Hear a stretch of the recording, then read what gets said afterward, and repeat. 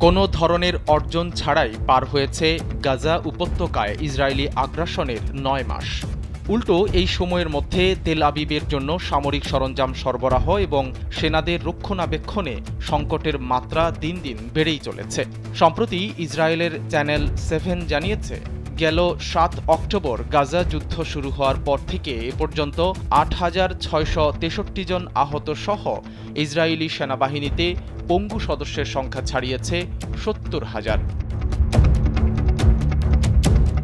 চ্যানেলটি আরও জানায়, পঙ্গু সদস্যদের মধ্যে শতকরা ৩৫ ভাগ সেনা সাত অক্টোবরের পর মানসিকভাবে অসুস্থ হয়ে পড়েছেন এবং শতকরা একুশ ভাগ সেনা শারীরিকভাবে মারাত্মক আহত হয়ে চিকিৎসাধীন।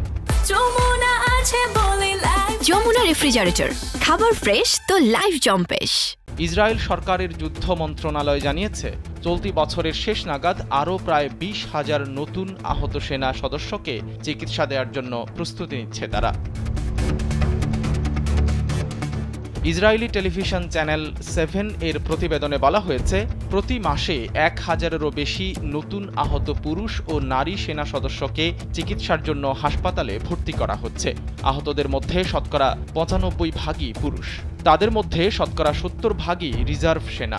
ইসরায়েলি বিশেষজ্ঞদের মতে, আহতদের মধ্যে শতকরা প্রায় চল্লিশ ভাগ সেনা, যারা দু হাজার চব্বিশ সালের শেষ নাগাদ হাসপাতালে ভর্তি হবে। তারা উদ্বেগ, উৎকণ্ঠা বিষণ্নতা আঘাত পরবর্তী মানসিক চাপ সহ বিভিন্ন মানসিক সমস্যার সম্মুখীন হতে পারেন।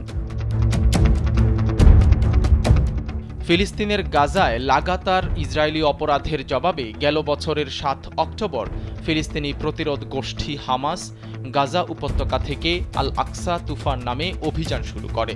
অভিযানের সময় ইসরায়েলের উত্তরাঞ্চলে ঢুকে এক হাজার দুইশো জনেরও বেশি মানুষকে হত্যা করে হামাস।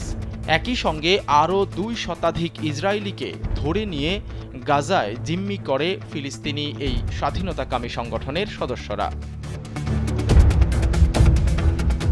এই পরাজয়ের গ্লানি মেটাতে যুক্তরাষ্ট্রসহ কিছু পশ্চিমা দেশের সমর্থন ও সহায়তা নিয়ে নিরীহ গাজাবাসীর ওপর নির্মমভাবে বোমাবর্ষণ শুরু করে ইসরায়েল। দেশটির হামলায় এ পর্যন্ত নিহত হয়েছেন সাঁত্রিশ হাজারেরও বেশি ফিলিস্তিনি, যাদের অধিকাংশই নারী ও শিশু।